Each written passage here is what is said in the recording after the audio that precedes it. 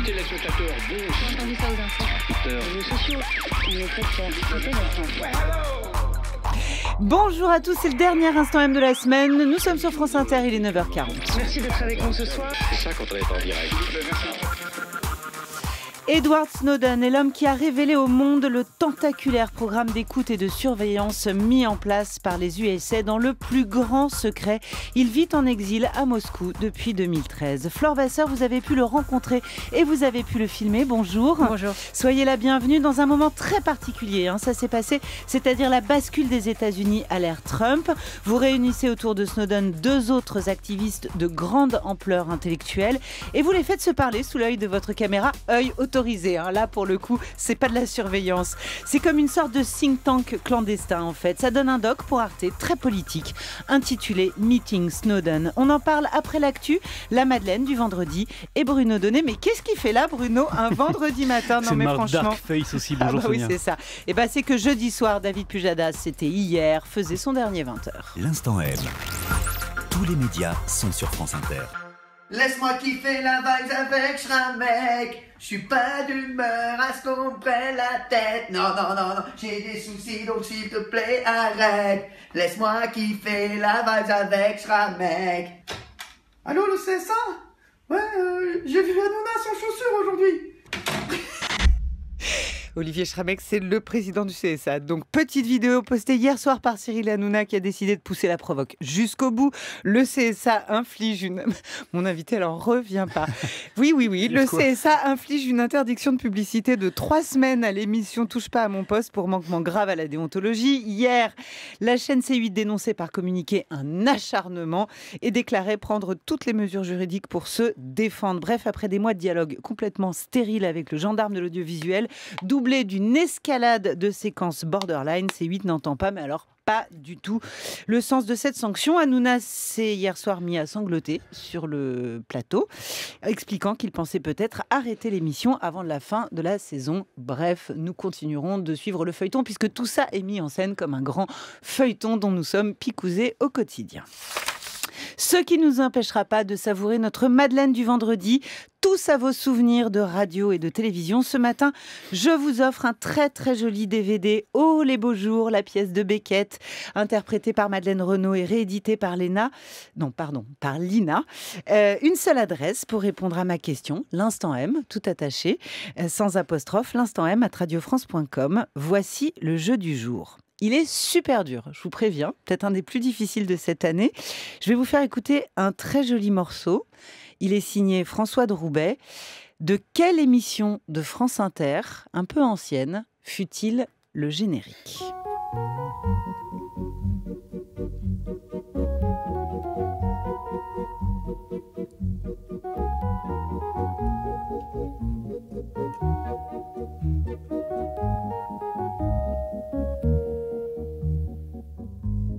C'est beau, hein Magnifique. C'est François de Roubaix. À quelle émission de France Inter ce morceau a-t-il servi de générique L'instant M à radiofrance.com. Vite, vite, dépêchez-vous. Hier soir, je le disais, Bruno, vous avez regardé les adieux de David Pujadas aux 20h de France 2 et vous avez été frappé par un contraste entre... Par un contraste, voilà, et par la sensation d'un énorme gâchis.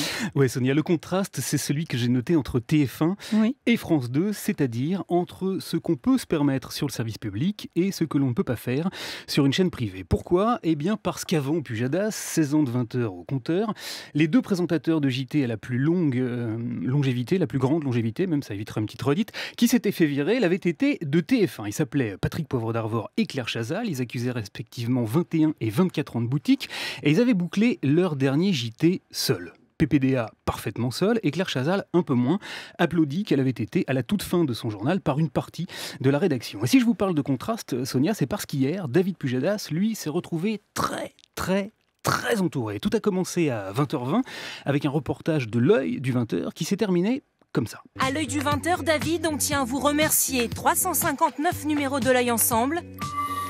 Bonne route à vous.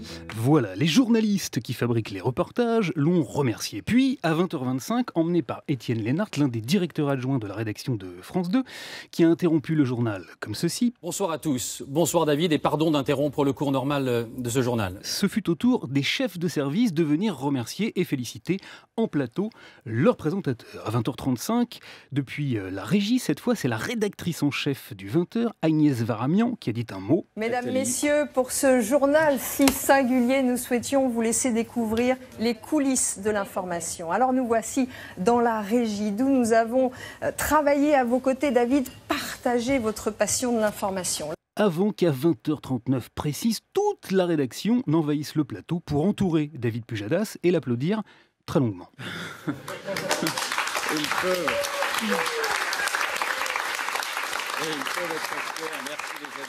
Autrement dit, hier, des journalistes aux rédacteurs en chef, de ceux qui dirigent la rédaction à ceux qui pilotent la régie, tout le monde est venu montrer physiquement son soutien à David Pujadas. Ce qui revenait aussi à adresser à la présidence de France Télévisions un message on ne peut plus clair de désapprobation. Une fronde totalement inenvisageable donc sur une chaîne privée. Du reste, comme pour mieux souligner le message et bien appuyer euh, le bras d'honneur, l'équipe du 20h n'a pas hésité à rediffuser cette petite phrase que Fabrice Lucchini avait dite sur le plateau du journal. Je vous le dis honnêtement, France 2 doit être fière de vous. Vous faites un journal admirable. À bon entendeur, salut. Voilà donc pour ce qui est du contraste. Et pour le gâchis maintenant, eh bien je dois vous dire, Sonia, qu'en entendant Pujadas dire ça... C'est le dernier euh, journal que j'aurais eu l'honneur de vous présenter.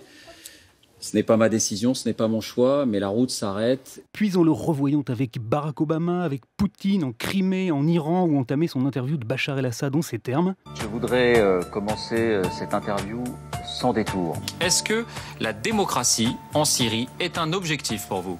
Non eh ben, je me suis dit qu'il était bon Pujadas. Et je me suis demandé dans quel esprit de grand stratège avait bien pu germer l'idée de foutre dehors un type qui fabriquait un journal de qualité, qui fonctionnait en audience et qui était à ce point apprécié de son équipe. Je me suis demandé sur quel hôtel on l'avait sacrifié et surtout dans quelle autre boutique on aurait pu virer un cadre expérimenté qui fabrique un produit performant, le remplacer par une femme qui présente elle aussi une émission qui marche, en prenant donc le risque de déstabiliser non pas un, mais deux programmes de France Télévisions qui rencontrent le succès alors que tant d'autres ressemblent à des accidents industriels. Alors voilà, hier soir, Pujadas a eu droit à 20 minutes d'hommage et à deux longues minutes d'applaudissements.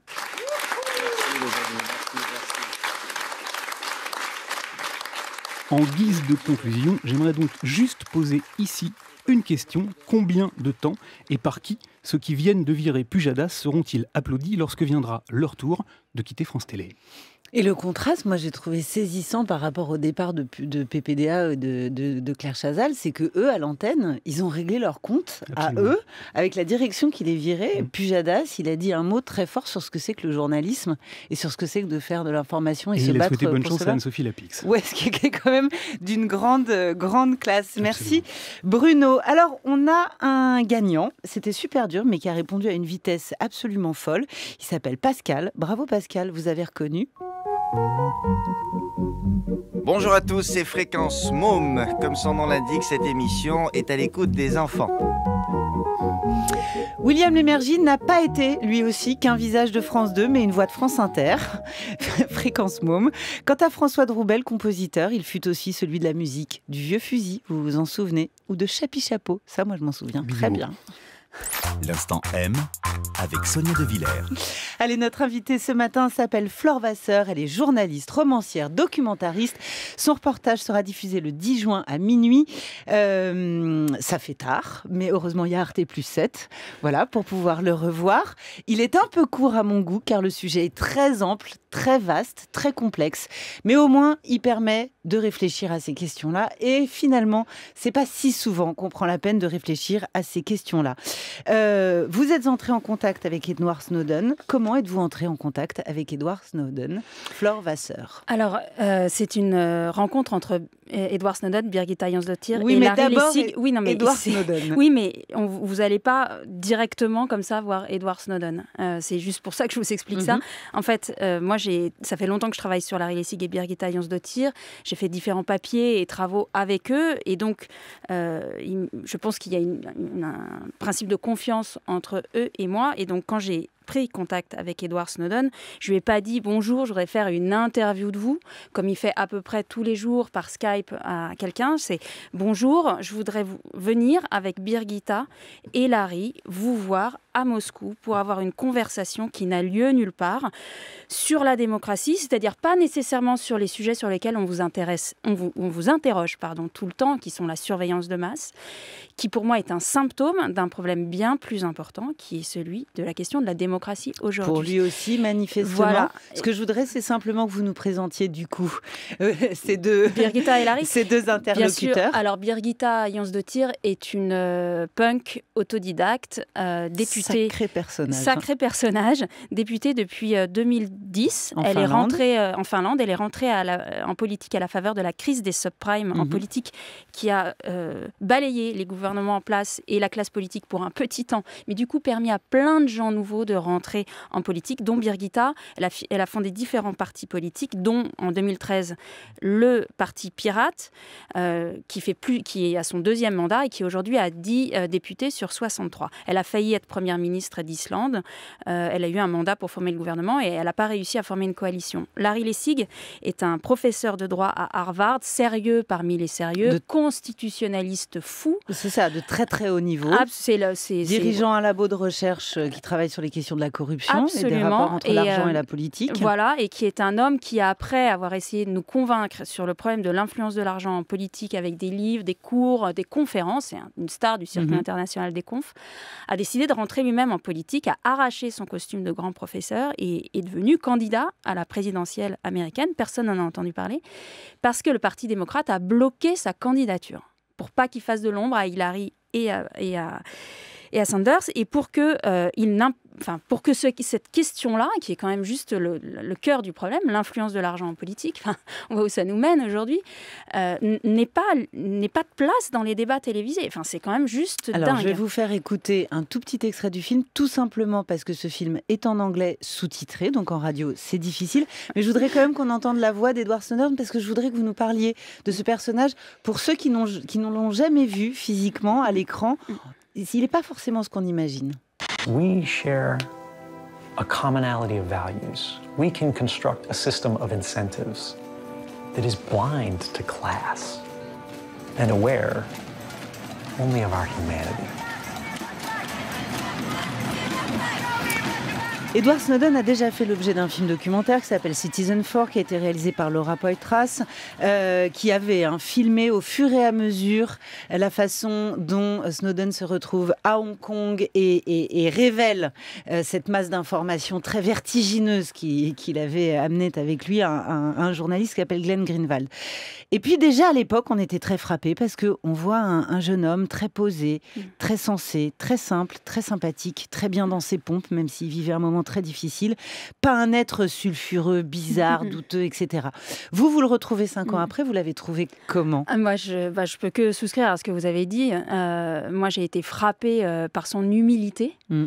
sa gentillesse. On est resté euh, quand même 7 heures dans une chambre d'hôtel qui est plus petite que ce studio. En 7 heures, vous avez le temps d'avoir un petit geste d'agacement, d'avoir... euh, Il y, a- y des techniciens, il y a du stress, on a un peu peur, on ne sait pas ce qu'on fait. on- enfin, moi-même, je suis speed. Enfin, Et en plus, et il vous l'a dit, jamais. Il avait, il avait envie de tout, sauf de vivre en Russie. Ouais. Et c'est, il avait travaillé pour la CIA, il avait travaillé pour la NSA. La Russie, c'était la cible de tir. C'était le dernier pays où il avait envie de se retrouver. Bon, il s'est retrouvé coincé en exil en Russie. Et puis finalement, la Russie lui a accordé un permis de séjour. Mais il vit loin de, de, Mm. de tout ce qu'il aimait?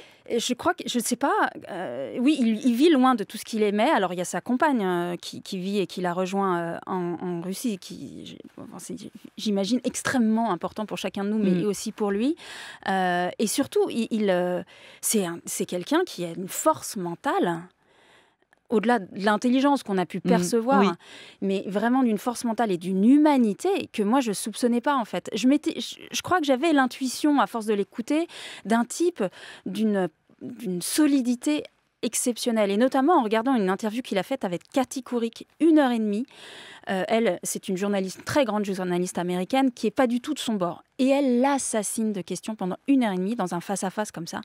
Et il ne, il n'est jamais impoli. Il ne sort jamais de ses gonds. Il est très calme. Il lui répond de façon extrêmement intelligente, même avec un petit geste d'humour du style. euh. Et je trouve ça sublime. Et justement, en fait. c'est vers là hein, que, que Mm. s'oriente cette discussion entre vos trois protagonistes. C'est-à-dire que il le dit très très simplement et, et assez vite. C'est-à-dire, oui, en effet, ça n'est pas une question de surveillance de masse. C'est c'est ce que les médias ont retenu et c'est dommage. Il le dit très vite. La Maison Blanche l'a dit elle-même. Euh, la surveillance n'a jamais empêché la moindre attaque terroriste. Donc, ce programme ne concerne pas le terrorisme. C'est une grande manipulation diplomatique. C'est de l'espionnage industriel. C'est de l'influence économique.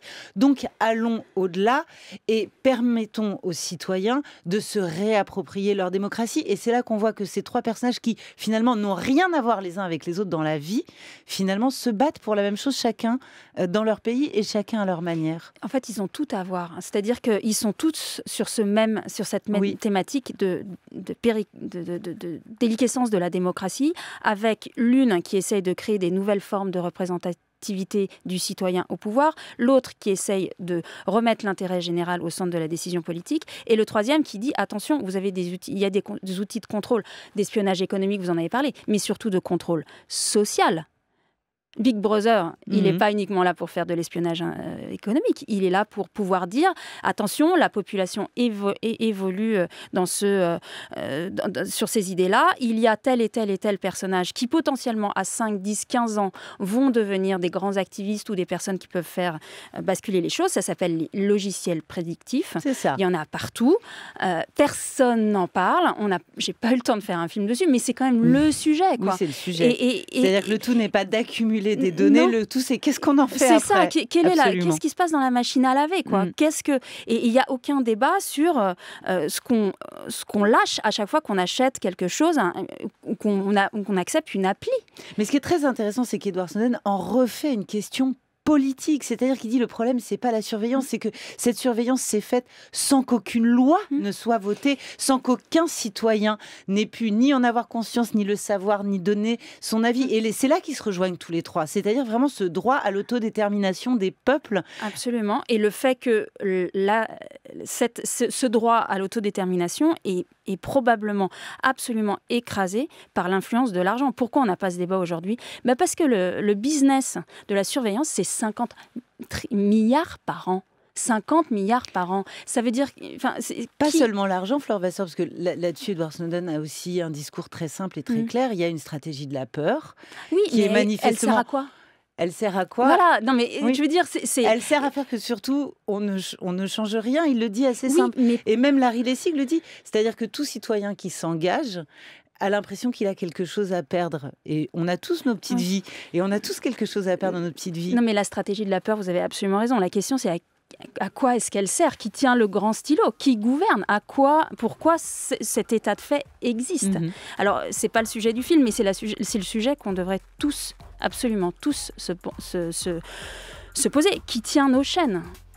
Ces, ces outils-là, ces technologies-là, la technologie n'est pas le problème, c'est l'utilisation qu'on en, fait, qui Quand est le je vous disais que c'était un Donc- film très politique. Euh, la Silicon Valley, à chaque fois qu'elle développe une appli, elle fait une appli grand public et elle fait une appli militaire. Et les applis militaires, aujourd'hui, elles gagnent. Ben oui, c'est beaucoup plus rentable. Meeting Snowden, ça veut dire en rencontrant Edward Snowden. Merci Flore Vasseur, 10 juin à minuit ou à revoir sur le site si à cette heure-là vous êtes déjà couché sur le site Arte plus 7. C'est la fin de l'émission. Violaine Ballet, Redouane Tella, Marion Philippe, Mila Chansarel, c'est ma super super équipe avec Dimitri Gronov ce matin à la technique.